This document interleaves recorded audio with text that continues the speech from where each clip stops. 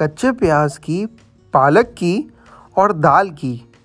और बात करूँ दाल कोई भी हो या फिर मूंग की, आज एक ऐसी रेसिपी तैयार करेंगे जो बहुत ही ज़्यादा नई है। इसमें हमने कच्चा प्याज, मूंग की दाल और पालक के साथ साथ टमाटर, बड़ी हरी मिर्ची और अदरक का इस्तेमाल किया है।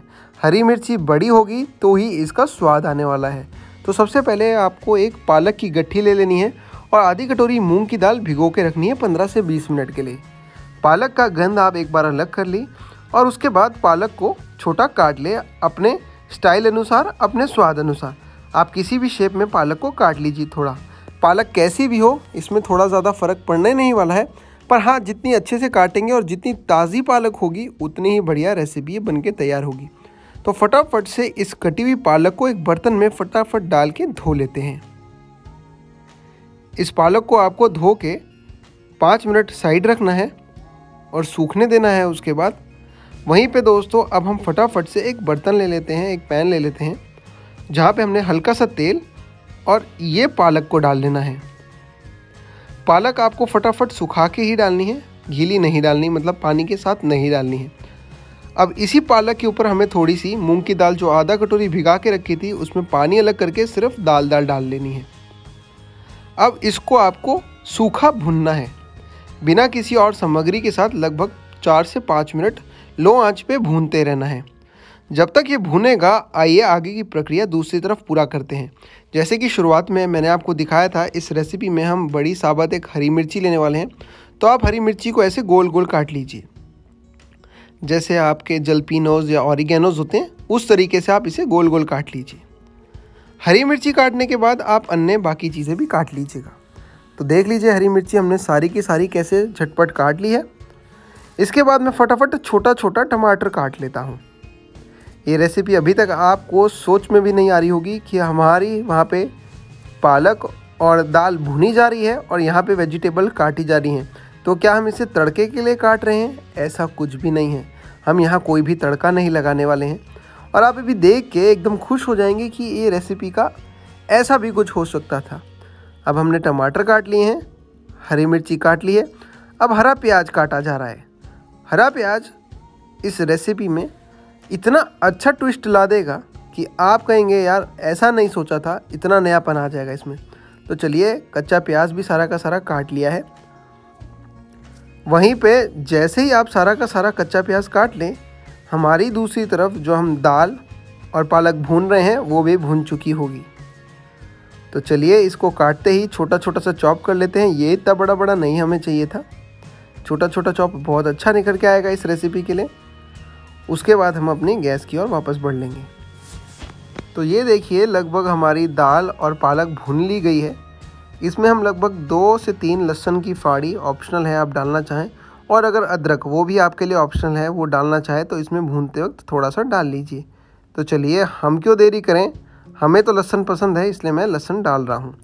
अब बस आधा मिनट और हमें भूनना है और इसको हमने फिर बंद करके दो मिनट ठंडा होने देना है और या फिर अगर आप ठंडा नहीं होने देना चाहते तो इसमें दो तीन बर्फ़ की क्यूब डाल लीजिए।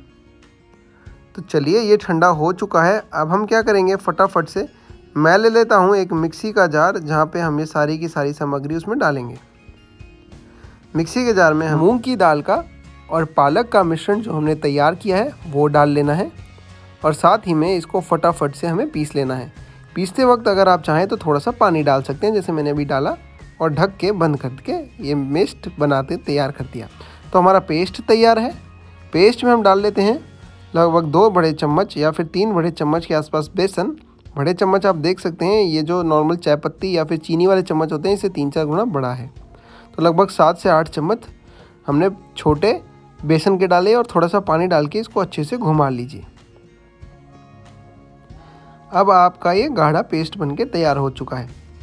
इस पेस्ट को अच्छे से घूमने दीजिए और उसके बाद हम इस पेस्ट में डालेंगे कुछ मसाले स्वाद अनुसार। तो चलिए, ये अच्छे से घुल चुका है, बस आधा मिनट और और उसके बाद मैं इसमें मसाले डालना शुरू कर देता हूँ। सबसे पहले मैं डाल देता हूँ इसमें नमक। नमक के बाद मैं लाल मिर्ची पाउडर डाल लूँगा काली मिर्च डाल लूँगा धनिया पाउडर डालूँगा और फिर गरम मसाला डाल लूँगा। इसको अच्छे से मिक्स कर लेते हैं। अब देखिए ये कितना अच्छा मिश्रण तैयार हो चुका है। अब दोस्तों, जैसे ही मिश्रण तैयार हो जाए, फटाफट से अब हम बनाएँगे पालक और दाल के चीले।